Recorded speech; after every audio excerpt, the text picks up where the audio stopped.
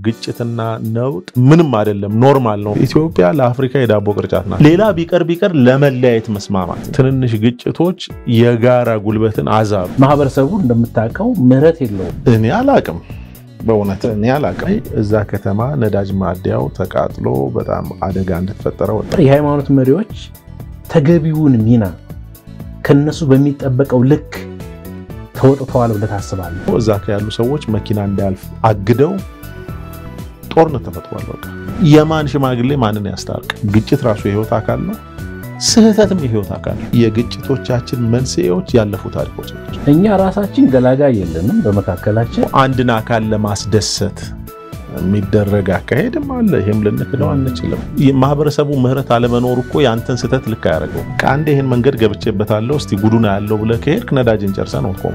ልዩነት ሲመጣ ግጭው። በጣም ከፍተኛ attention የሚፈልግ ሁኔታ ውስጥ ነው ያለን።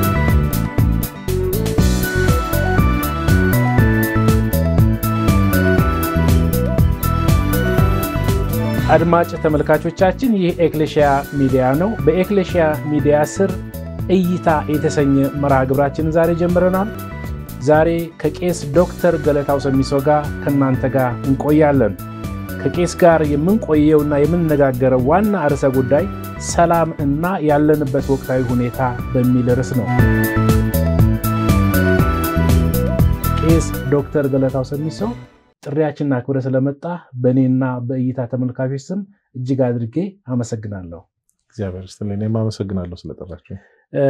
እንግዲህ በተለይ ካንተ ሙያና የረዥም ጊዜ ልምድ አንጻር ይሄ ርዕሰ ጉዳይ በደንብ ልንዳስሰው እንደምንችል አውቃለሁኝና ግን የእይታ ተመልካቾች ላያውቁህ ይችላሉ በተወሰነ መልኩና ቄስ ዶክተር ገለታ ማን ነው የሚለው እንደው ትንሽ ነገር ብትነግረን ከሙያም አንጻር የተወሰነ ነገር ብትለን የምናወራበትም ርዕሰ ጉዳይ ጠንካራ ስለሆነ እንዲሰሙት የበለጠ ትኩረት እንዲሰጡት ብዬ ነው። እኔ ገለታ ባላለሁኝ በሙያዬ ለረጅም ጊዜ የቆየሁት እንግዲህ በዚህ በሰላም ግንባታ ያው ከአንተ ጋር ለብዙ ዓመታት ነው የምንተዋወቀው።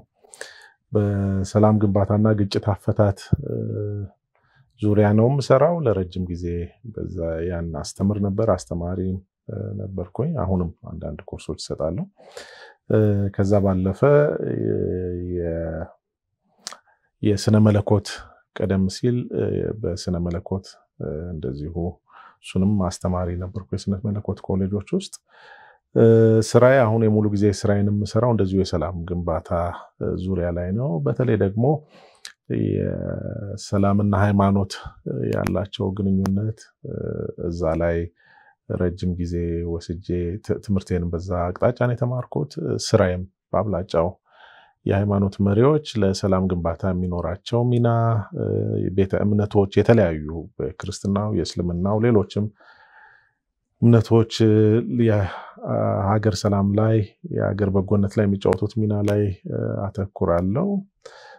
ሶ ይሄ ነው በሙያዬ በአብላጫው በእነዚህ ዙሪያ ነው ያለሁት እና ከዚህ ውጭ አንትሮፖሎጂ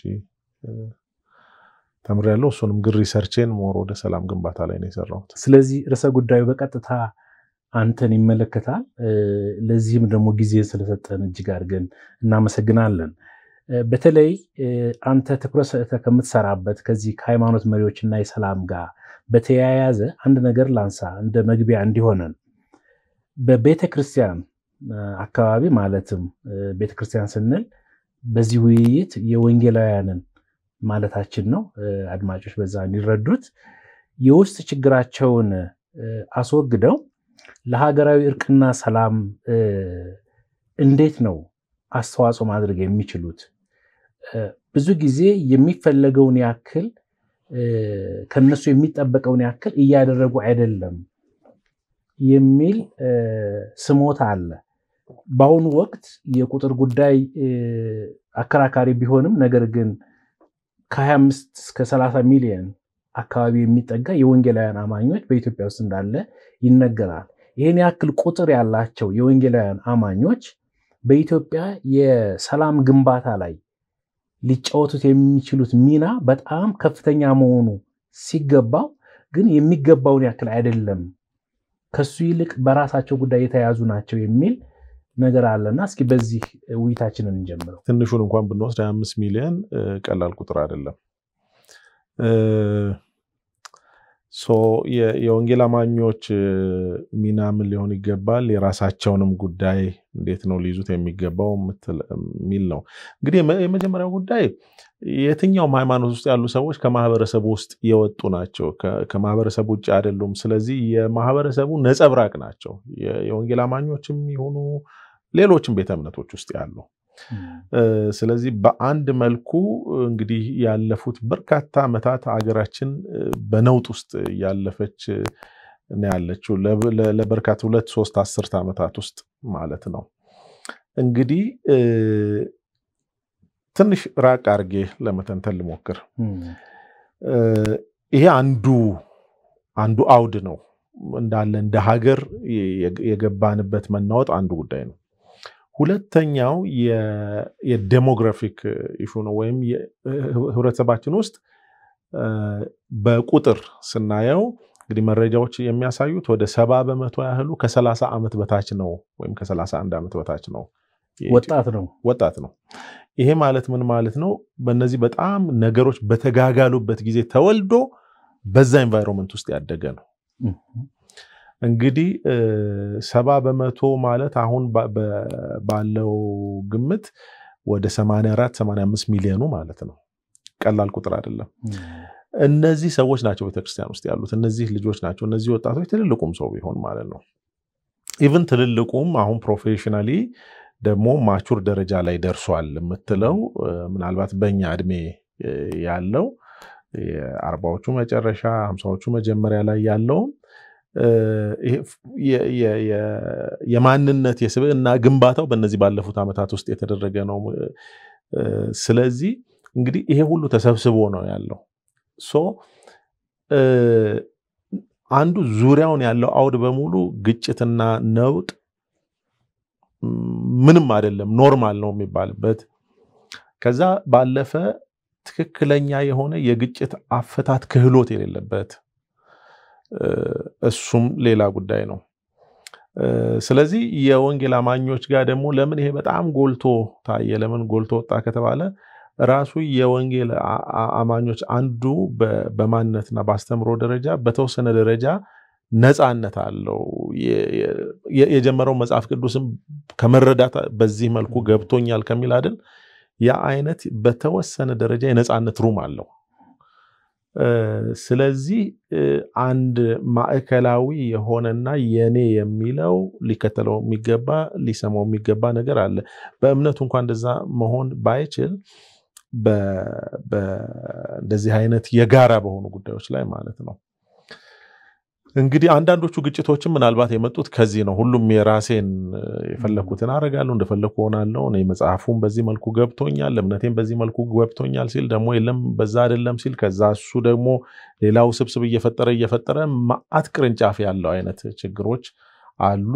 ከዛ ባለፈ እንዳልኩ ዙሪያውንም ደግሞ ነገሮች የሚተረጎሙባቸው መልኮች በተለያየ መንገድ ነው። አሁን እኛ ሀገር እሱንም ማንነት ይዞ ነው የሚመጣው ቤተክርስቲያን ውስጥ ይሄን እንግዲህ እንደ አንድ መንገድ እንደ አንድ ጉዳይ እንየው። በዚህ በግጭት አፈታት ትምህርት ውስጥ የምንለው ነገር አለ። ምንድነው? ኮንፍሊክት የማይቀር ግጭት የማይቀር የህይወት አካል ነው ይባላል። ማስቀረት አንችልም አንችልም። ግጭት የህይወት አካል ነው። በቃ ሰው ካለ ምክንያቱም ሰው እኔና አንተ በጣም ጥሩ ወዳጆች ልንሆን እንችላለን። የጋራ ብዙ አጀንዳዎች ሊኖሩ ይችላል። ሁሉ ሀሳባችን ግን አንድ አይነት ሊሆን አይችልም። so የሀሳብ ግጭት ይመጣል ማለት ነው።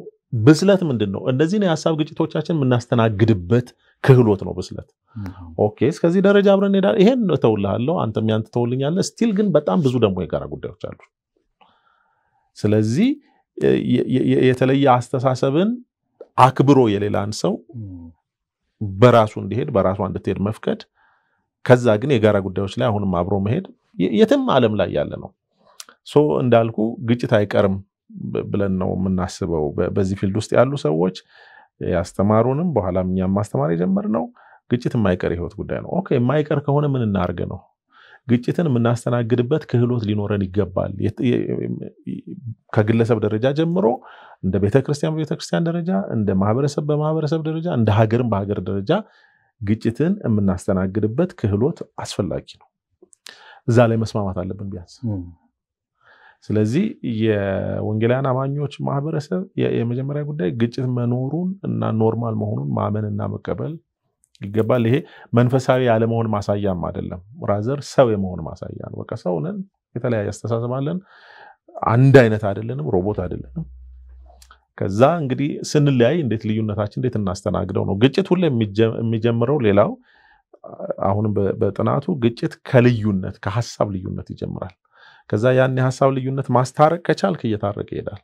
ካልታረቀ እያለ እያለ እያለ መጨረሻ ላይ መሳሪያ እስከ መማዘዝ ያደርሳል።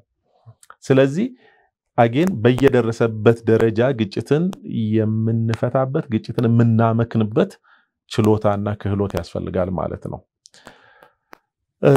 ስለዚህ የወንጌል አማኞቹ አንዱ ጉልበት እንዲደክም ያደረገው በየመሃሉ ያለው ትንንሽ ግጭቶች የጋራ ጉልበትን አዛሉ።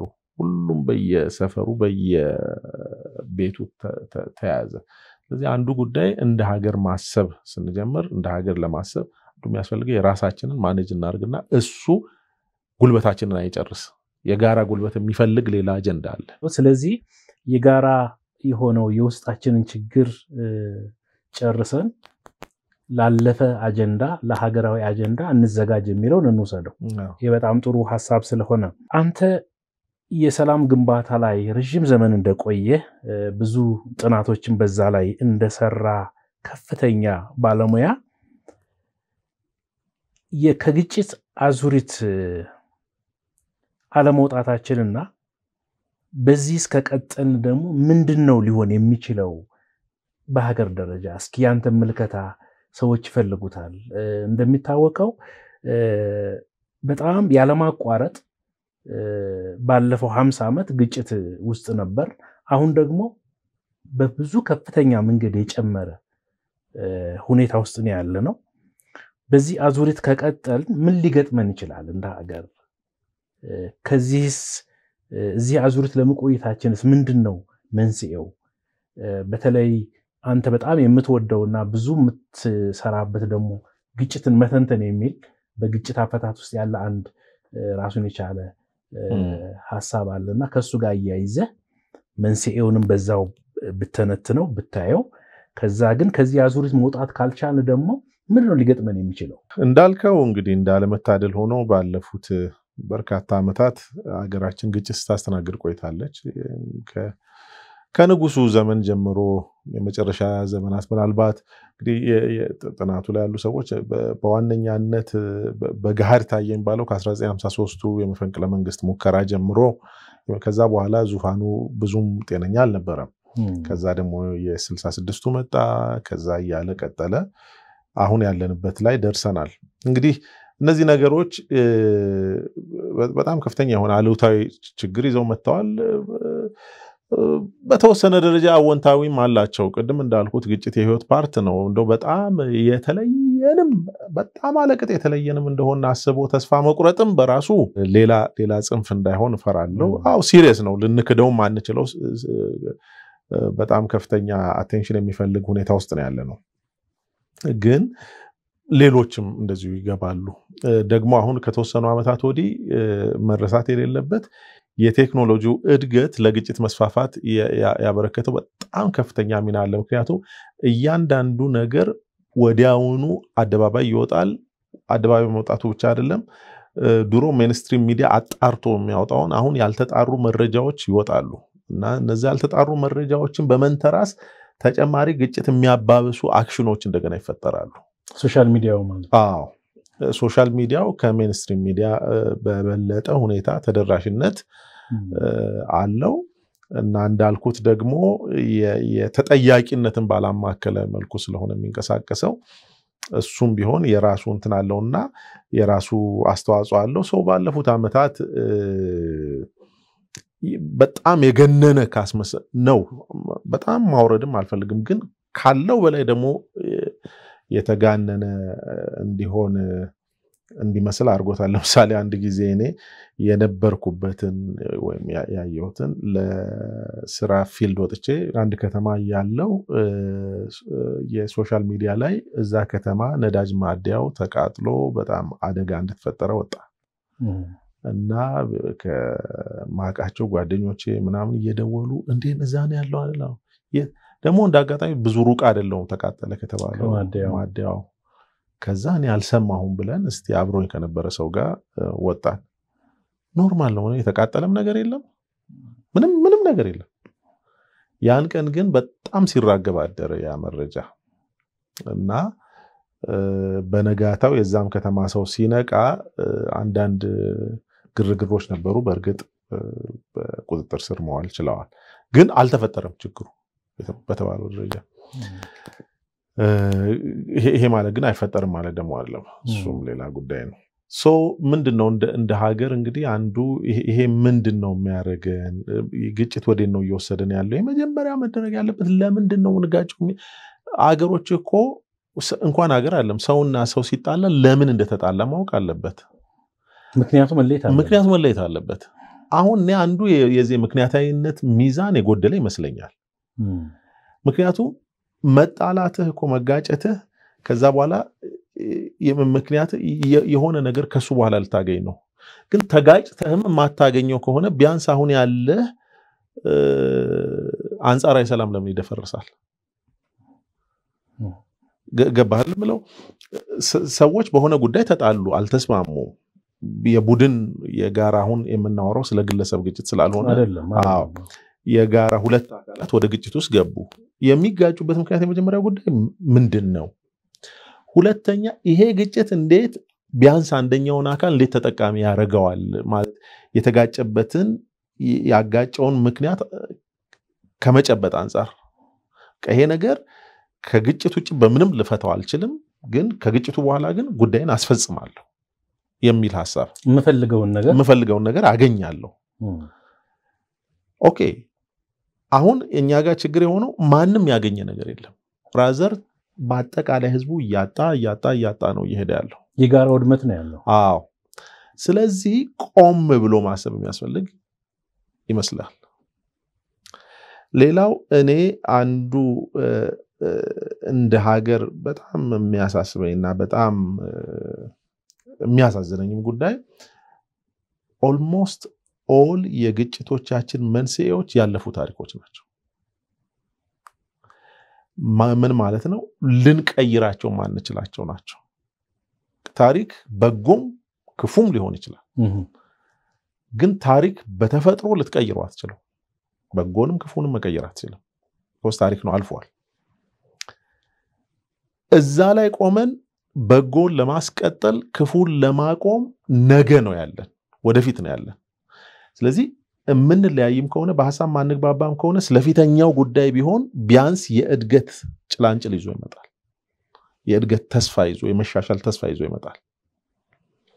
ስለዚህ አንዱ በጣም እንደ ሀገር እንዲኖረን የምፈልገው እንደ ቢያንስ ቢያንስ የምንለያይባቸው ምክንያቶች ነገ ልንደርስባቸው ስለምናስባቸው ጉዳዮች ነገ ልንጨብጣቸው ስለምንፈልጋቸው ውጤቶች ሊሆን ይገባል እንጂ ያለፈው ነገር ይሄ ማለት ሰው አልተጎዳም፣ አይጎዳም፣ ያዘነ የለም፣ የተጎዳ የለም አይደለም። ነጥቤ ምን ይመጣል? በትናንትና ጉዳይ እኔና አንተ ብንጫረስ ምን ይመጣል? በጣም በትንሽ scale ቢሆንም አንድ አንድ ምሳሌ ላሳይ። ያው በስራዬ ምክንያት በጣም ብዙ ጊዜ ወደ field እሄዳለሁ እና ክፍለ ሀገርም ተቀምጬ የሰራሁባቸው ጊዜ አልነበሩ። ከነዛ ጊዜ አንዱ በአንድ ጊዜ መኪና ሰው ገጨ። ማለት ከኔ ጋር ግንኙነት የለውም ወይም ከኔ ከምሰራበት ጋር መንገድ ላይ እየሄድን መንገዱ ተዘግቷል ስንደርስ እና በጣም ከባድ ነገር ተፈጥሯል። እኛ ከኋላ ነው ያለ ነው። ወረድን። ምንድነው ሲል የሆነ መኪና ሰው ገጭቶ እዛ ያሉ ሰዎች መኪና እንዳያልፍ አግደው ጦርነት ተፈጥሯል። በቃ እና የሚመጣውን መኪና በሙሉ ነው እያጠቁ ያሉት። ስለዚህ የሚችል እየዞረ ይመለሳል። በኋላ በነጋታው ያን ቀን እንኳን እኛም ዞረን ተመለስን ማምለጥ ስለነበረብን በነጋታው ግን ወደምንሄድበት ቦታ ስንሄድ ያው ፖሊስም ደርሶ ተቆጣጥሮ ምን ካለ በኋላ ስለሆነ ችግሩ የለም። በኋላ ግን በሽማግሌ እንዲፈታ እንትን ሲል በአጋጣሚ እዛ እነሱን የማግኘት ሽማግሌ ውስጥ የለውም የማግኘት እድል አገኘው እና አንዱ የተነጋገር ነው ይሄ ሰው ከቤቴ ልግጭ ብሎ አይደለም የወጣው በመገጨቱ የተገጭ ቤተሰብ ተጎድተዋል። ደግሞ አልሞተም። እንዳጋጣሚ ወጣት ልጅ ነው የተገጨው። የተገጨውም ልጅ ተጎድተዋል። ጉዳዩ እንዴት እናሳክመው ላይ ነው መሆን ያለበት እንጂ ያን መኪና ብደበድበው፣ ያን ሹፌር ብታጠቃ፣ ሌሎች ሹፌሮች ብታጠቃ ምንድን ነው የምታምጣው ነገር? ያንን ልጅ ወደ ነበረበት መመለስ ቢችል ኖሮ okay አንድ ነገር ነው፣ ግን መመለስ አይችልም። same thing ግጭትም በ large scale ነው እንጂ ያለፉ የታሪክ ቁርሾች ተጨባጭ ምክንያት ያላቸው አካላት እኮ አሉ ስላለፈው። ጉዳዩ ግን የዛሬ ግጭት ያለፈውን ብልሽት ያስተካክለዋል ወይ ነው። አሁን እኛ ሀገር እኔ እንድናስብ የምፈልገው እሱ ነው። የትናንትና ቁርሾቻችን መማሪያ ሊሆኑ ነው የሚገባው። ወደ ነገ መንጠላጠያ መሰላል እንዳይደገሙ ሊሆኑ ነው የሚገባው።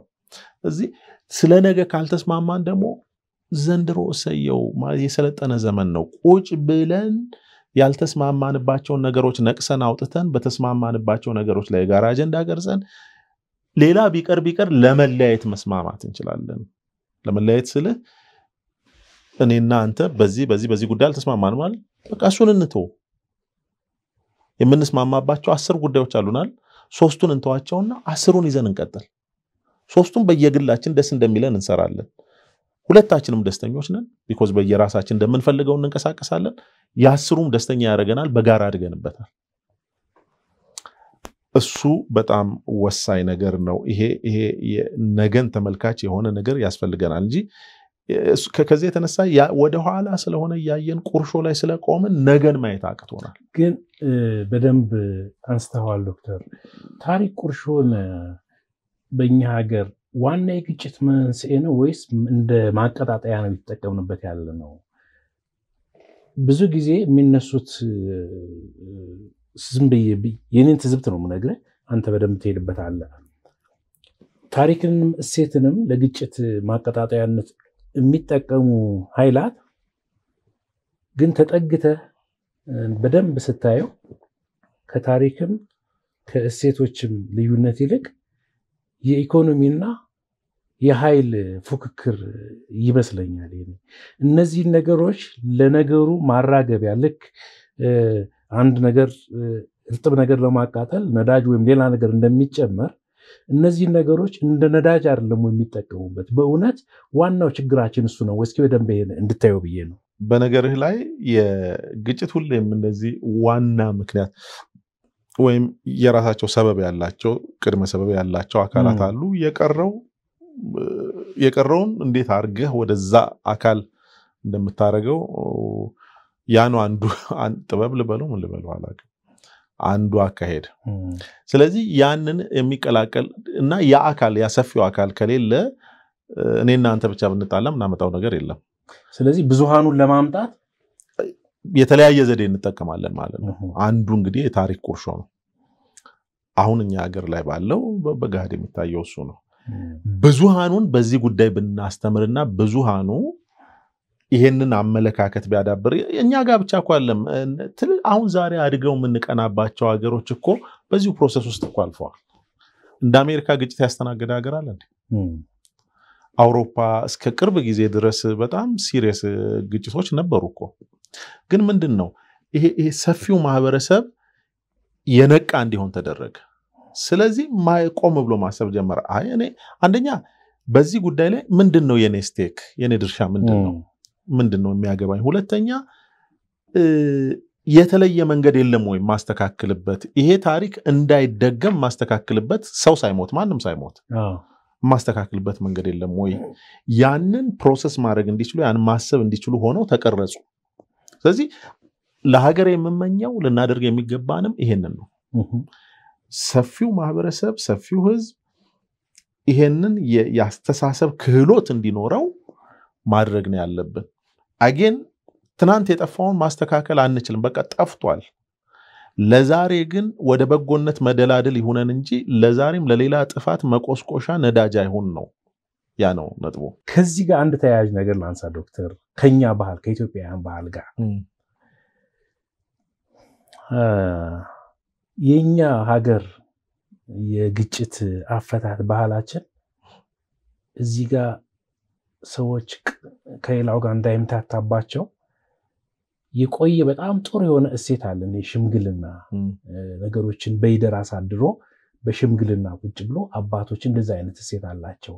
በሁሉም ባህሎች የሽምግልና እሴት አለ እንደየ አካባቢው። ግን አሁን ከተወሰነ ጊዜ ወዲህ ያሉት ፖለቲካዊ ልዩነቶችና የተለያየ መንስኤ አድርገው የሚፈጠሩ ግጭቶች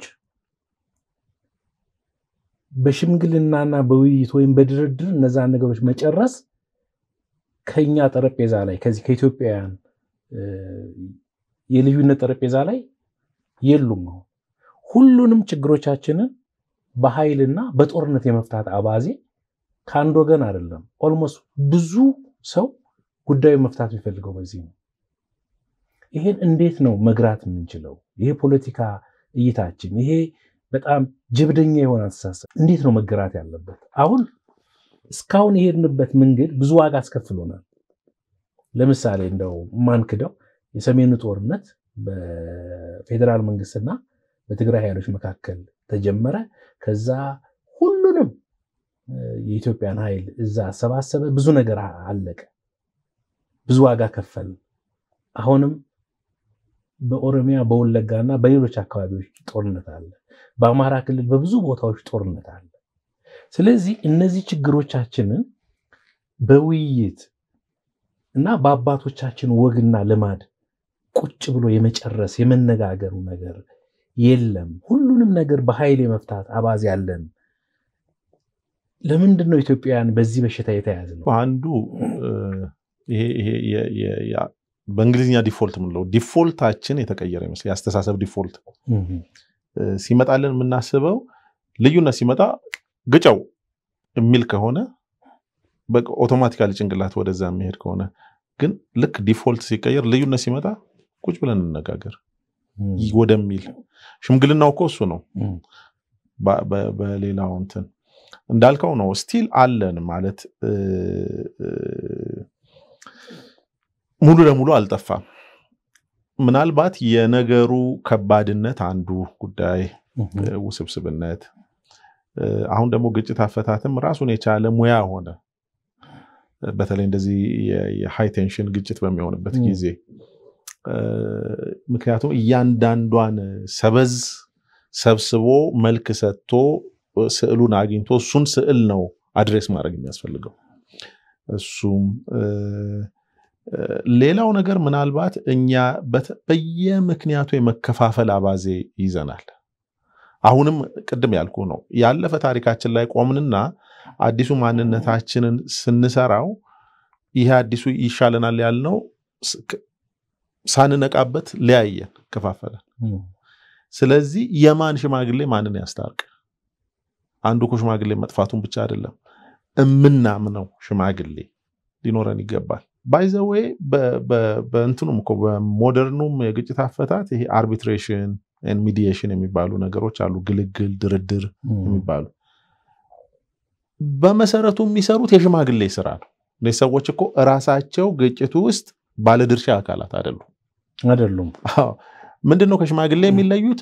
ባለሙያዎች ናቸው። የነሱ የነሱ ተአማኒነት የሚመጣው ባለሙያ ከመሆናቸው የተነሳ የሚሰሩትን ነገር ያውቃሉ እና በሁለተኛ ደረጃ ደግሞ ለማንም አያደሉም። እነዚህ ሁለት ናቸው። ገለልተኝነታቸውን ገለልተኝነትና የሙያ ክህሎት ናቸው። ስለዚህ አሁን አንዱ የሚመስለኝ በጣም ትልቅ ጥናት ስላላጠናው እንደው በጣም ደፍሬ እንትን አለም ግን ደግሞ ውስጥ እንዳለ ሰው ደግሞ የምናውቀው አንዱ ይሄ የገለልተኛ አይደለንም አይደሉም የሚል already ቅድም ያልኩ ነው። ትናንትናን ስለሆነ እንደ መነሻ የምንይዘው ስናስብ እንትና ማን አለም የምትታይበት የራሱ መነፅር እኔ የማይበት መነፅር አለ። እሱም ተበላሽቷል። ስለዚህ ይህን መነፅር ነው መቀየር ያለብን። ቢያንስ ግን ያ ካልሆነ እንደተቸገርንም አውቀን ሌላ ገለልተኛማ አካል ቢመጣ ለመቀበል ሬዲ ነው። እኛ እንደታመምን አምነን አዎ እሱን አውቀን ዝግጁነት ሊኖረን ያስፈልጋል። እሱም ላይ እኮ ነው ክፍተታችን። አሁን እኛ ራሳችን ገላጋይ የለንም በመካከላችን። ለሌላው ደግሞ እንደ ምንድን ነው እንደ መደፈርም እንደ ሉዓላዊነትም እንቆጥረዋለን። ግን እኔ የማስበው ምክንያቱም የዚህ ፕሮግራም ዓላማ ሀሳቦችን ማመንጨት ስለሆነ እኔ የማስበው በተለይ ደግሞ አንተን ያክል ትልቅ ሰው በመካከላችን ካለ በችግር ውስጥ እንደሆን አምነን የተለያዩ የመፍትሄ አማራጮችን ማየት አይኖርብንም ወይ? አሁን ባለንበት ሁኔታ እስኪ እንደው ምን ትላለህ? አለብን እንጂ ምን አማራጭ አለው? እሱ ነው አዋቂነት እኮ አንዱ እሱ ነው። ቅድም ያልኩ ነው። ምንድን ነው የምናገኘው የሚለውን እያንዳንዱ ሰው እያንዳንዱ አካል የግጭቱ ባለድርሻ አካል ይህን ማሰብ አለበት። okay ከዚህ ከግጭት ምንድን ነው የማተርፈው? የምናተርፈው እዛ ጋ የሳልነው ስዕል ካለ አሁን እያለፍንበት ያለነው መንገድ እያስጠጋን ነው ከዛ ግባችን ወይስ እያራቀን ነው? በተአማኒነት ይህን ማሰብና ይህን መመለስ ነው እንጂ ያለብን ዝም ብለን ቅድም ጀብደኛ ብለሃል። ዝም ብለን በጀብደኝነት ልንሄድ እንችላለን። ታሪክ ታሪክን still ምስክር ይሆናል። ስለዚህ ከታሪክም ተወቃሽነት ከህሊናም ታሪክ ብቻ አይደለም ህሊናም ከህሊናም ተወቃሽነት ለመዳን ሁሉም ይሄን ሊያስብ ይገባል። ምን አገኘን? ልናገኝ ነው። የማናገኝ ከሆነ ግን መቆም እኮ ነው ያለብህ። አንዳንድ ጊዜ እኛ ሀገር እንኳን ብዙ እንደሱ የለም። አንዳንድ ጊዜ ግን ይሄ የውጭዎቹ እነዚህ ያደጉት ሀገሮች መንገዳቸው ውስብስብ ነው። አንድ መታጠፊያ ከሳትክ በጣም ብዙ ኪሎ ሜትር የሚያስነዳሃል ለመመለስ ለመመለስ እና ስለዚህ በጣም እንዳትስት ትጠነቀቃለህ። አንደኛ ከሳትክ ግን ሁለተኛው አማራጭ አጭሯ መመለሻ የቷ ናት ነው። ብዙ ሳትርቅ ብዙ ሳትርቅ እንጂ ከአንድ ይህን መንገድ ገብቼበታለሁ እስቲ ጉዱና ያለው ብለህ ከሄድክ ነዳጅን ጨርሰህ ነው ትቆመው። አሁንም እኛ እንደሱ ነው። ግጭት ራሱ የህይወት አካል ነው። ስህተትም የህይወት አካል ነው። ሁሉን አዋቂ ሰው ስለሌለ አንዳንዴ legitimate ምክንያት ኖሮት አንዳንዴ በስህተት ይፈጠራል። በስህተት ለመጽናትና ስህተትን ለማረም እነዚህ ሁለቱን ነው ልንንቀሳቀስ የሚገባ። ግጭትም same thing ካፈርኩ አይመልሰኝ አይነት ነገር ካፈርኩ አይመልሰኝ ይባላል በአማርኛ። በአማርኛ እንደሱ ይባላል። ምክንያቱም አይተህ ከሆነ ይሄ ደግሞ የእኛ ባህል አስቸጋሪ አልሆንም? አሁን ሰዎች በእኛ ባህል ውስጥ ተሳስቼ ነበረ ይህን ነገር ይህን ውሳኔ የወሰንኩት በስህተት ነው ቢል አንድ ሰው በተለያየ ፖዚሽን ላይ ያለ ሰው ማህበረሰቡ እንደምታውቀው ምህረት የለውም። ምናልባት ይሄ ይሆን ሰዎች በዛው እንዲቀጥሉ የሚያደርገው የማህበረሰቡ ምህረት የለሽ መሆን አስተዋጽኦ ይኖረው ይሆን? እኔ አላቅም፣ በእውነት እኔ አላቅም። እንዲህ ብዬ ለመናገር አንችልም። ግን አንዱ ልናስበው የሚገባ ነገር ግን አለ ብዬ የማስበው እሺ፣ ምህረት አይኖረው የትኛው ነው የከፋ? ማህበረሰቡ ምህረት አለመኖሩ እኮ የአንተን ስህተት ልክ አያደርገው ማለት ይቅርታ ብጠይቅ እንደዚህ አይነት ሌብል ልደረግ እችላለሁ ብለን እናስብ ይሆናል። ግን ምህረት የለውምና ማህበረሰቡ እኔ እንደፈለግ ሆኜ ነገ የመጣው ይምጣ ብል እሱ ምህረት ይሰጠኛሉ። still እኔ የማየው ከማህበረሰቡ ውስጥ የሚራሩልኝ አይጠፉም። ነገ ጤነኛ ሰው መሆኔን ሳየው ደግሞ ህዝብ ያያል እኮ አይን አለው ይምርሃል። ለጊዜው ነው የሆነ ጊዜ እውነት ነው ይጋጋላል። የስሜት ጉዳት የስሜት ቁስል ያመጣል። ግን መመለስህ ይቅርታ እውነተኛ እንደሆነ ሲታሰብ ግን ህዝብ ብቻ እኮ አይደለም ህግም እኮ እንደሱ ነው። ይቀጣህና ከዛ በኋላ ወደ ማህበረሰቡ መቀላቀል እንድትችል ትሆናለህ፣ እድል ይሰጥሃል።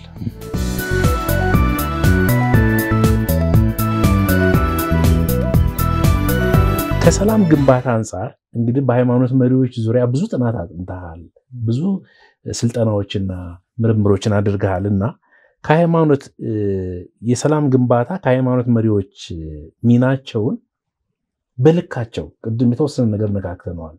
በልካቸውና ከነሱ በሚጠበቀው ልክ ማህበረሰቡ ስለሚጠብቅ ማለት ነው ተውጥተዋል ብለህ ታስባለህ? በእኛም በወንጌላውያንም አቅጣጫ እንደው በስራ ሁሉንም ያማከለ ስራ ስለምትሰራ አጠቃላይ የኢትዮጵያ ሃይማኖት ተቋማትንም በዛው መዳሰስ እንችላለን።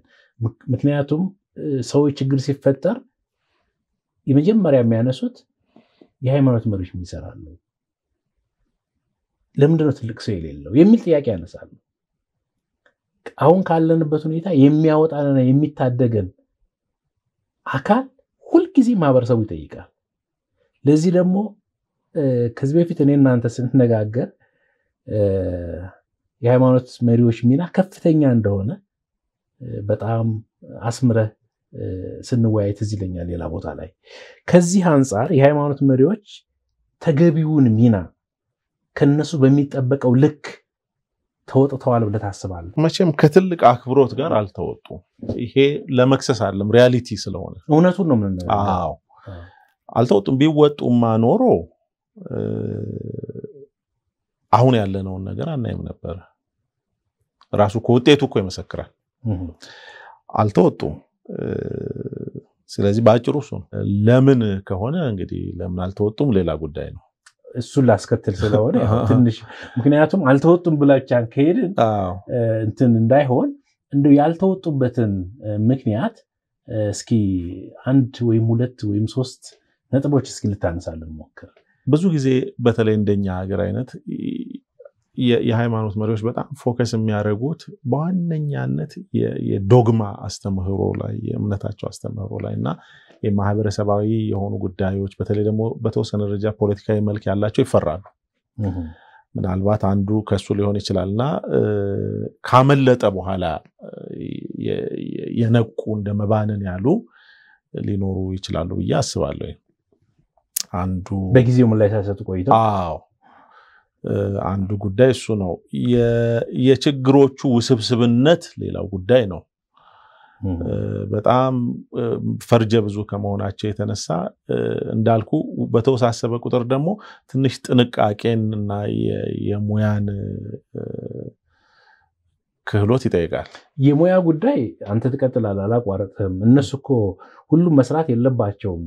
በስራቸው ባለሙያን ማዋቀር የባለሙያ ውድል ጥናቱን እንዲያደርግ አሳይመንቱን ለሌላ ሰው መስጠት ይችላሉ።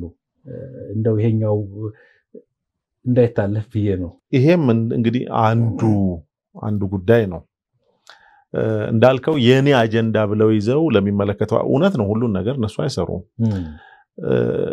በተወሰነ ደረጃ ቅድም እንዳልኩ ነው። ሌላው የሃይማኖት መሪዎች ራሳቸው ከዚህ ነፃ ናቸው ወይ?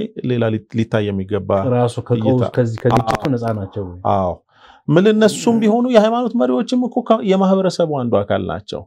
መሪ ከሌላው የሚለየው ምናልባት የመሪነት ክህሎት ከኔ ይልቅ አንተ እሱን በደንብ ታውቃለህ ብዬ አስባለሁ። አንዱ ከማህበረሰቡ ነጥሮ ወጥቶ ሩቅ አይቶ ማሳየት መቻሉ ነው። መቅደም መቻሉ ነው እና መሪ ዩዥዋሊ መሪም የሚሆንበት ምክንያት የተለየ እይታ ስለሚኖረውም ጭምር ነው። ያን የተለየ እይታውን ሌሎች እንዲቀበሉት በሌሎች ላይ በጎ ተጽዕኖ አድርጎ እንዲከተሉት ማድረግ ማስቻሉ ነው። ስለዚህ የእምነት መሪዎችም ይሄ ይጠበቅባቸዋል። ሌሎቹን ሰዎች ያጠመደው መረብ እንዳይዛቸው ከዛ አምልጠው ከዛ ሌሎቹ የሚያመልጡበትን መንገድ ማሳየት መቻል ይጠበቅባቸዋል። አንዱ በገሃድ መቼም ልንክደው ማንችል በገሃድ የሚታየው አንዳንዶቹ ግጭቱም ውስጥ ቀጥታ ተዋናይም ሆነው የታዩበት ባለቤት ናቸው። አዎ አጋጣሚዎች አሉ። እሱም ትንሽ የሚያሳዝን ነው እና በእንደዚህ አይነት ጊዜ የሚናን መለየት ያስፈልጋል ብዬ አስባለሁ። የቱ ጋ ነው የኔ ሚና እንደ እምነት መሪ? ሁላችንም በየደረጃችን because ሁላችንም የግጭት ተዋናዮች፣ ሁላችንም የፖለቲካ ተዋናዮች፣ ሁላችንም እንትን መሆን አንችልም። ሃይማኖቶችም ቢሆኑ የሃይማኖት መሪዎችም ቢሆኑ ወደኋላ መመልከት አቁመዋል ሙሉ ለሙሉ። ቅድም ያልኩህን ወደፊት ማየትና ወደዛ መሮጥ። መሪ ደግሞ እሱን ነው የግድ የፊቱን ነው ማየት ያለበት። ከኋላው ይማራል እንጂ መሪ የኋላ ላይ ተቸክሎ አይቀርም። አሁን እኛ የተቸገርነው ተቸክለናል የሆነ ቦታ ላይ። የሃይማኖት መሪዎች ማየት አለባቸው ወደፊት እና እሱም እሱም ትንሽ ጉለት አለ። በሌላ መልኩ ፍራቻም አንዳንድ ቦታ ይታያል። ይሄን ብደረግ እፈረጃለሁ እንትን እላለሁ። በተወሰነ ደረጃ በተወሰነ መልኩ ደግሞ አንድን አካል ለማስደሰት የሚደረግ አካሄድም አለ። ይሄም ልንክደው አንችልም። የሃይማኖት አገልጋይ አንዱ የሚጠበቅበት ፈጣሪውን ነው፣ እግዚአብሔር ነው ማስደሰት ያለበት ከማንም በላይ። ከዛ በኋላ ደግሞ ለሚያገለግለው ሕዝብ ኃላፊነት ያለበት ሰው ነው። የስ ለሕግ ተጠያቂ ይሆናል። የስ ለመንግስት ተጠያቂ ይሆናል። ግን ለማስደሰት ብሎ ግን እውነትን ማመቻመች አይጠበቅበትም። እነሱ አይነት ነገሮችም እናያለን። ማህበረሰቡ እና ወይም ሌሎች ኃይላትስ ቢሆን ተገቢው ክብር አለ ወይ ለሃይማኖት መሪዎች? እንግዲህ የሃይማኖት መሪዎች የአቅም ውስንነት እንዳለ ሆኖ ግን ይህን የሚቀርፉበትን መንገድ ደግሞ አሳይተናል። ማለት የባለሙያ ቡድን ማደራጀት ይችላሉ። expert ኦች አሉ፣ እነሱ ሊያግዟቸው ይችላሉ። የአቅም ውስንነት ቢኖር ከእነሱ የሚጠበቀው ታማኝነት ብቻ ነው። የምንከተላቸውም አዋቂ ስለሆኑ ሳይሆን ታማኝ ስለሆኑ ነው ለፈጣሪ የምንከተላቸው። ስለዚህ እሱ ችግር አይሆንም። ግን ማህበረሰቡን ጨምሮ ሌሎች አካላትስ በግጭት ውስጥ ያሉ አካላት የሃይማኖት መሪዎችን የማክበር የመስማት ነገር አለ ወይ? በዚህ ጊዜ እንደ ዝም ብለን እነሱ ብቻ ተጠያቂ እንዳናደርግ ይሄኛውንስ እንዴት ነው የምታየው አንተ በአንተ እይታ? በእንግሊዝኛ አንድ ጥሩ አባባል አለ፣ respect is earned ይባላል። ክብርን ታገኘዋለህ እንጂ በእድል አይደለም ይመጣል። ለዛ የተገባ ሰው ትሆናለህ። ባይዘወይ ላትወደድ ትችላለህ። ትክክለኛው ቦታ ላይ ካለ ግን አለመከበር አትችልም። የማይወዱም ሰዎች ያከብረዋል። አዎ እኔ ከመጽሐፍ ቅዱስ ጥሩ ምሳሌ ማሳየት እንችላለን። ኢየሱስ ክርስቶስ ወደ ምድር በመጣ ጊዜ በዘመኑ የነበሩ ፈሪሳውያን የሚባሉ ሰዱቃውያን የሚባሉ የተለያዩ የሃይማኖት ትንንሽ ሴክቶች በጣም ጠላታቸው ነበር። መጨረሻም ከሰው እንዲሰቀል ያደረጉት እንደ ክርስቲያን የኢየሱስ ክርስቶስ መሰቀል ለደህንነታችን እንደሆነ እናምናለን። ለክርስቲያኖች እንደዛ ነው። በዓለማዊው እይታ ግን ስናይ ኢየሱስ እኮ ግፍ ነው የተፈጸመበት። ሊሰቀል አይገባውም ነበር። ይሄ ሁሉ በእግዚአብሔር ዘላለማዊ ቅዱስ ምናምን እንዳለ አውቃለሁ እንዳለው ነው። አዎ ዝም ብለህ ስታየው ግን ባይወዱትም ግን በጣም ቢጠሉትም ያከብሩት ግን ነበር። እርን አድርጓል። ክብርን ተጎናጽፏል። በምን በማንነቱ ስለሱ ሲናገሩ ምን አሉ? አንተ አንድ ሄደው አንድ ፈሪሳይ ሊጠይቀው መምህር ወይ አንተ በሰው ፊት እንደማታደላ እውነትንም እንደምትናገር እናውቃለን ብሎ ነው የማይቀበሉ ሰዎች ናቸው። ስለዚህ በተለይ የሃይማኖት መሪዎች፣ የሃይማኖት አስተማሪዎች እዚህ ዘርፍ ላይ ያለን ሰዎች ይሄ ይጠበቅብናል። እርን ማድረግ አለብን። ከሁሉም ሰው ክብር መጠበቅ የዋህነት ነው። ግን ቢያንስ ከሚከተሉን ከምንመራቸው ሰዎች ግን ያን ልናገኝ ይገባል እና የምንመራቸው ሰዎች እኛን ማድመጥ ከፈለጉ ደግሞ እኛን የሚመሰሉ ሰዎች እየበዙ ይሄዳሉ ማለት ነው። ስለዚህ ግጭትን ለማርገብ ለማምከንም የበለጠ እድልና አጋጣሚ እየኖረን ይሄዳል ማለት ነው። የድርድርና የውይይት ባህላችን ምን እንደሚመስል እያየን ከሌሎች ሀገራት ምናልባት ተሞክሮስ መውሰድ ካለብን የሌሎችንም ሀገራት ተሞክሮ ላይ ብታነሳለን የእኛንም ደግሞ ባህል እስካሁን ምናልባት በአንድም በሌላም ነክተነው ሊሆን ይችላል፣ ግን ራሱን የቻለ ትንሽ የሆነ ነገር ብለን እንድንሄድ ብዬ ነው። በተለይ የእኛንም የውይይት የድርድር የመመካከር ባህላችንም ምን እንደሚመስል በተወሰነ መልኩ ብናነሳው ደግመን እና የሌሎች ሀገራትስ ተሞክሮ እንደው ለእኛ ሊጠቅም የሚችል ካለ እሱንም አብረህ ብታነሳልን። ከኛ ልጀምር። ቅድም መጀመሪያ ላይ ብለህ እንደጀመርከው ኢትዮጵያ በጣም የምትገርም እኮ አገር ነች፣ በበጎ መልኩ ማለት ነው። ብዙ ባህሎች፣ የብዙ እሴቶች ባለቤት ነው። ዛሬም ከዚህ ሁሉ ችግራችን ጋር ሆነን still በጣም በጎ ጉዳዮች አሉ። ለምሳሌ እንደዚህ ግጭት ምን እያለ ሰው በግለሰብ ደረጃ even ማህበረሰቡ አጠቃላይ ሊባል በሚችል እንግዳን የሚቀበልበት እንትኑ still አልሞተም። ዛሬም እኮ በውጭ ሰዎች ተወዳጅ ነው ያ ባህላችን። በነፃነት በአንጻራዊነት ወጥቶ መግባት still ይቻላል። በእኛ አይነት ብታነጻጽር የእኛ አይነት ችግር ውስጥ ያሉ ሀገሮችና እኛን ብታይ እኛ ጋር still ጥሩ ይሄ ጥሩ እንትኖች አሉ። ይሄ ምን ማለት ነው? በችግር ውስጥ እንኳን ሆነ ሆነን የመረዳዳት እድላችን የመረዳዳት ባህላችን ይቅርታ still እኮ የመጀመሪያ ዋስትና ኢንሹራንስህ ከእግዚአብሔር ቀጥሎ ጎረቤትህ እኮ ነው ኢትዮጵያ ውስጥ ዛሬም ብትጮህ ዛሬ የሚደርስልህ ሰው አለ፣ ብትቸግር ዛሬ የሚደርስልህ ሰው አለ። ለዚህ አንዱ ማሳያ በየመንገዱ የተቸገሩ ሰዎች እነዚህ ታመው በመኪና ሲጠይቁ መንገደኛ የማያውቀው ሰው እያገዘ ነው የሚሄደው። ይሄ እንትን ነው። ውይይት ሌላው ባህላችን ነው። አልሞተም። አሁንም በ small scale አለ እኮ ቀጥኗል እንጂ አለ ስለዚህ እሱን capitalize ማድረግ ነው የሚጠበቅብን። እንግዲህ ስለ ሰላም ስናወራ በዚህ በሰላም ጥናት ውስጥ አወንታዊ ሰላም ወይም positive peace የሚባል ነገር አለ። አሁን ከፊት አድርገን ልንሄድ የሚገባን የምናየው እንትናችን ኮከባችን እሱ ነው ሊሆን የሚገባው። እዛ positive peace ላይ እንዴት አድርገን መድረስ እንችላለን ነው። እሱ ላይ የምንደርሰው ሌላ ምንም አማራጭ የለውም፣ በመነጋገር እና በመወያየት ነው። ሌላ መንገድ የለም የለም። ማንም አድርጎትም አያውቅም፣ አይቻልም። ሰውን በመሳሪያ ማስገደድ አትችልም።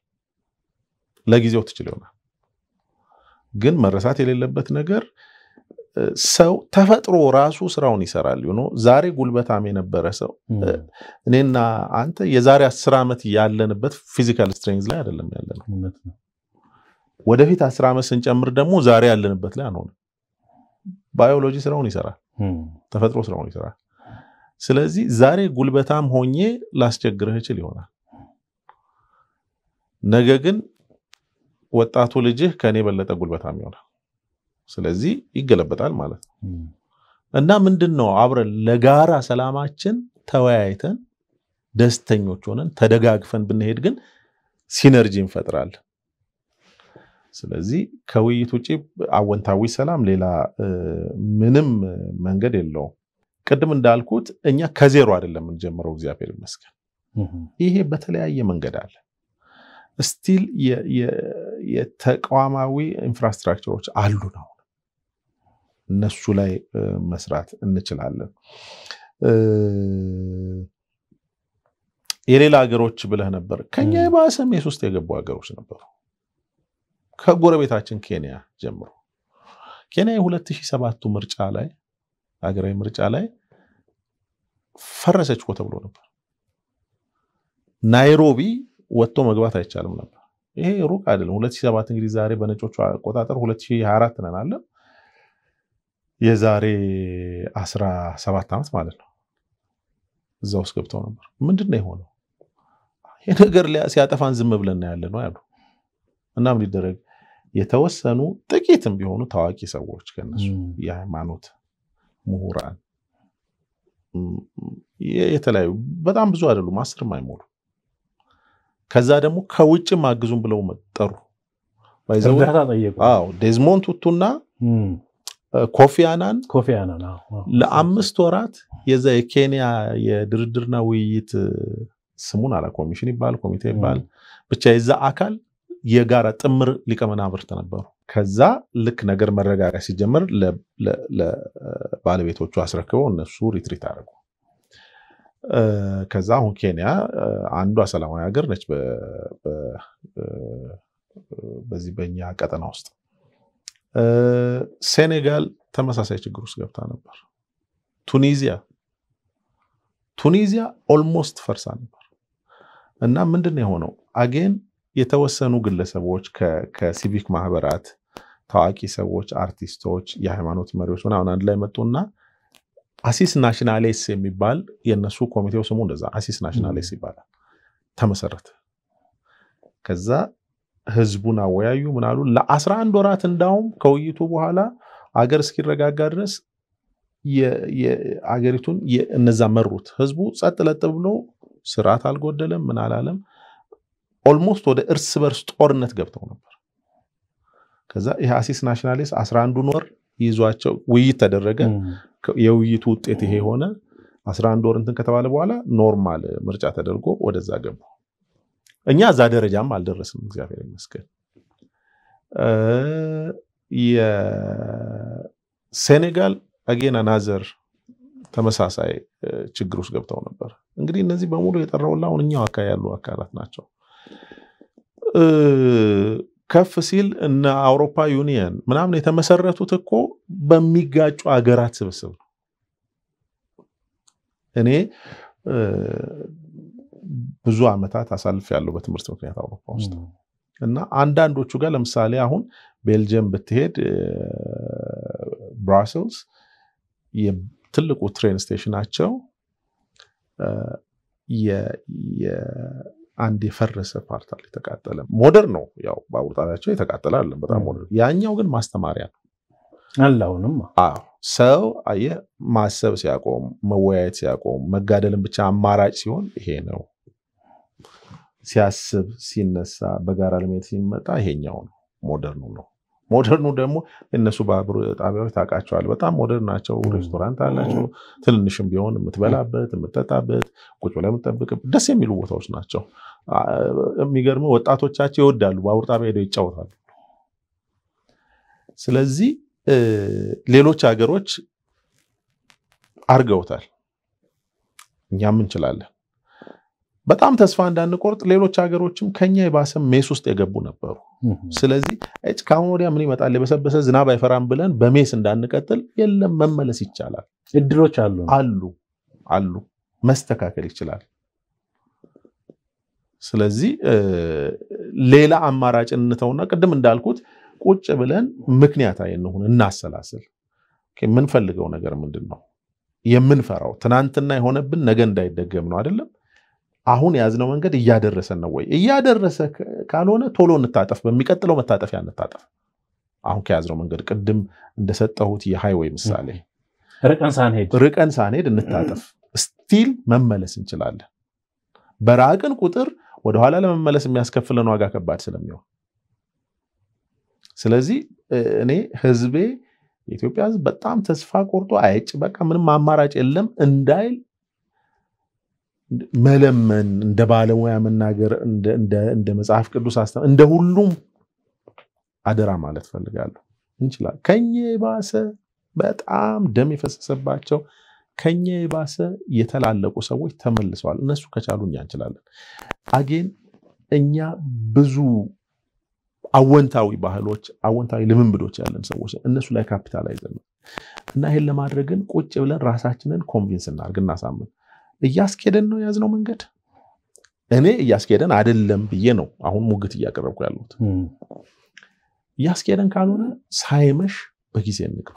ካለንበት ሁኔታ ለመውጣት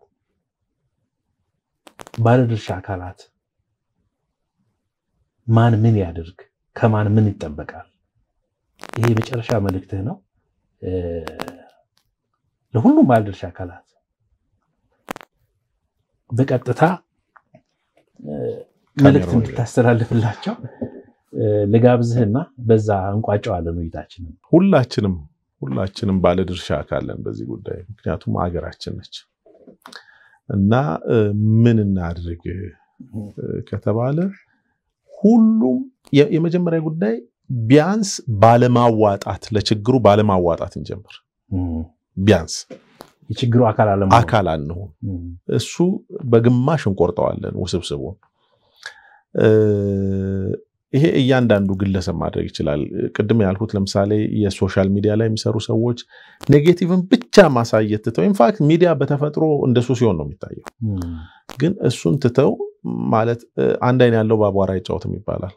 አሁን ያንን የሚዲያ attraction ፈልገን ወደማይሆን ነገር እንዳንገባ እዛ ሌላው እነሱ እንደዛ ቢያደርጉ እኛ ባለማየት ሂት ባለመስጠት የሃይማኖት መሪዎች አፍ አውጥተው መናገር ባይችሉ ዝም በማለት ከዛ በመጸለይ እውነተኛ ጸሎት በማድረግ ምህላ በማድረግ መንግስትም ቆም ብሎ አካሄዱን በመመርመር በመፈተሽ በተለያየ ቦታ በተቃውሞ ላይ ያሉ ሰዎች ለህዝብ ነው ብለው የተነሱትና ለህዝብ ከሆነ ህዝቡን እየጠቀምነው ነው ወይ ብለው በማሰብ ነው really አንዴ ከሄድን እልህ ጉዳይ ነው ወይስ ሌላ ጥቅም የሚጋራ አካል አለ ከህዝቡ ውጭ? ይሄንን በማየት ምክንያቱም የጋራ ቤታችን እቺ ሀገር ነች። የጋራ አገር አለን። ምናልባት አሁን በተለያየ መንገድ ልናገኝ የምንፈልገውን ጥቅም በትክክለኛው መንገድ ማግኘት የምንችልበት ልጆቻችን ማግኘት የሚችሉበት አጋጣሚ ከፊታችን አለ። እግዚአብሔር በጣም ግሩም ሀገር ነው የሰጠን። ትበቃለች፣ ለሁሉም ትሆናለች፣ ለሌላውም ትተርፋለች። ምንም ይሄ እኮ ይሄ የሞራል ጉዳይ እኔ አይደለሁም ያልኩት፣ በጣም የተጻፈ ነው፣ በአይናችን የምናየው ነው። ምርምር አድርገው እኮ ገና በአስራ ስምንት ምናምን የጻፉ አሁን ትዝ አለኝ አንድ ጀርመናዊ ሰው የተናገሩት ኢትዮጵያ ለአፍሪካ የዳቦ ቅርጫት ናት ብለዋል። እድሎች አሉ። ይሄ አቋራጩን ትተን really የምንወዳቸው ልጆች የምንወዳቸው ቤተሰቦች አሉናለም። ነገ እነሱ እኛ ባለፍንበት ሰቀቀን እንዳያልፉ ቢያንስ መደላድሉ እንፍጠርላቸው። ከዛ ደግሞ የምንችል ደግሞ ፈቀቅ ብለን እናዋጣ። በነገርህ ላይ አንድ ነገር ተናግሬ ልጨርስ። ይሄ የማይቻል ቢመስልም ይቻላል። እኔ አንዱን ማስተርሴን የተማርኩት ኔዘርላንድስ ነው፣ ሆላንድ የሚባል ሀገር እና ታውቃለህ፣ ኢትዮጵያ ሆላንድ ረድታ እንደነበር አይመስልም። አሁን በሀገራችን ውስጥ በጣም strong ኢኮኖሚ ካላቸው ሀገሮች ውስጥ ነች። በዓለማችን ጥቂት ህዝብ ናቸው። ሀገሪቷም ትንሽ ናት። አርሲ ክፍለ ሀገርን የድሮን የቀድሞ አርሲ ክፍለ ሀገርን ነው የምታክለው የሚባለው እና 16 ሚሊዮን አካባቢ ህዝብ ነው ያላት። በጣም ጠባብ ከመሆኗ የተነሳ አንዳንድ ሰፈር ውስጥ መኪና መንገዱ ሁለት አያስኬድም። በየቦታው ግን እንትን shoulder ወጥቶለታልና ከዛ ሲመጣ ስታይ ቆመት አሳልፈዋለህ ገባ ብለህ ይሄ እዚህ express ላይ lay-by እንደሚለው ያን ያህል ጠባብ ሀገር ነች። እንዴት እዚህ ደረሱ? በሁለተኛው ዓለም ጦርነት በጣም ከደቀቁ በኋላ እኛ በነጮቹ አቆጣጠር በ1958 ነው በቀዳማዊ ኃይለሥላሴ ዘመን ነው በሬ እና ብርድ ልብስ እና የተወሰነ ገንዘብ እርዳታ የተላከላቸው ከኢትዮጵያ ወደ ኔዘርላንድስ። በኋላ ምንድን ነው ያደረጉት? ታሪካቸው ላይ ሲጻፍ ህዝቡ በፈቃደኝነት ያለውን ገንዘብ ለመንግስት ሰጠ እና ሁሉም እኩል flat ሆነ። መንግስት ላይ ያሉ ሰዎች ደግሞ ያንን በታማኝነት ሰሩና ሀገሪቱን መንጥቀው አወጧት ካለችበት። ብዙ ጊዜ ትሰማ ይሆናል Dutch system ይባላል። ገንዘብ ላይ በጣም ጥንቁቅ ናቸው። ለምንድን ነው? የጋራ ታሪክ ስለነበራቸው ነው። በጋራ ዜሮ ሆነው ስለነበረ ነው። እነዛ ሰዎች እዚህ ያለቻቸውን ትንሽ ነገር appreciate ማድረግ ለመዱ። አሁን ሀገራቸው እኮ ገነት እኮ ነው ትመስለው በእርግጥ ገነትን በዓይንህ ባላየትም በጣም ለምለም፣ በጣም የምታምር፣ በጣም ንጹህ ሀገር ነች። እኛን መልሳ ትረዳለች። ሌሎችም አፍሪካ ሀገራት ትረዳለች፣ ኤዥያ ሀገራት ትረዳ። ያቺ ትንሽ ሀገር በወተት ምርት አንደኛ ናቸው፣ በአትክልት ምርት አንደኛ ናቸው። ይቻላል፣ እንችላለን። አድማጭ ተመልካቾቻችን ከቄስ ዶክተር ገለታው ሰሚሶ ጋር የነበረን ድንቅ ውይይት በዚህ ይጠናቀቃል። በሚቀጥለው ሳምንት በሌላ ሀሳብ ከሌላ እንግዳ ጋር ወደ እናንተ እንመጣለን።